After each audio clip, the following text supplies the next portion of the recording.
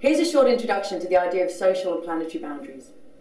Humanity is currently using natural resources far beyond what the planet can take, and yet at the same time, millions of people living in appalling deprivation. We have to tackle these crises together, and it would help if we had a vision of where it is we want to get to. So here's one idea that could provide a compass for the journey ahead. In 2009, Johan Rockström of the Stockholm Resilience Centre brought together a group of leading Earth system scientists, and they came up with the concept of planetary boundaries. They identified nine Earth system processes like climate regulation, the freshwater cycle, and the nitrogen cycle, which are critical for keeping the Earth in a stable state known as the Holocene, which has been so beneficial to humanity for the past 10,000 years. Under too much pressure from human activity, any one of these processes could be pushed into abrupt and even irreversible change. So the scientists drew up a set of boundaries under their danger zones, and the area that these created they called a safe operating space for humanity. Well, that may be environmentally safe, but it could also be deeply socially unjust, leaving millions of people in deprivation and extreme inequality. So, how about adding to the picture the idea of social boundaries? Just as there's an environmental ceiling beyond which lies unacceptable environmental degradation, so too there's a social foundation below which lies unacceptable human deprivation. What should those deprivations be? Well, human rights provide the cornerstone for defining that. And the process of redefining the Millennium Development Goals is going to come up with the top priorities to tackle now.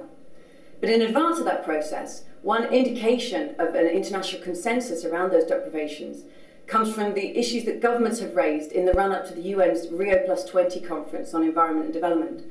And the top 11 social concerns that governments have raised form the 11 social dimensions here.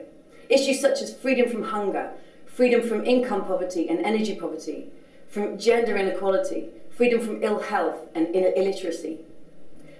So, between the social boundaries and the planetary boundaries lies an area shaped like a donut, which is both safe and just space for humanity.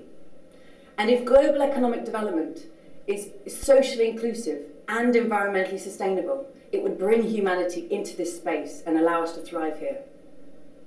Rockström and the other scientists estimate that humanity has already crossed at least three of the nine planetary boundaries on climate change, on nitrogen use, and on biodiversity loss.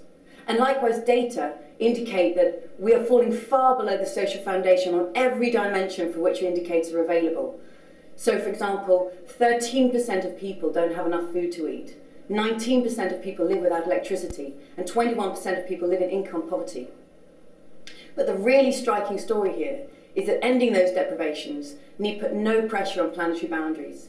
Meeting the calorie needs of everybody living in hunger would take just 1% of the world's current food supply. Getting electricity to everybody who lives without it would add less than 1% to global carbon emissions. And getting everybody out of income poverty would take just a fraction of 1% of global income. It's wealth, not poverty, that's putting this planet under pressure.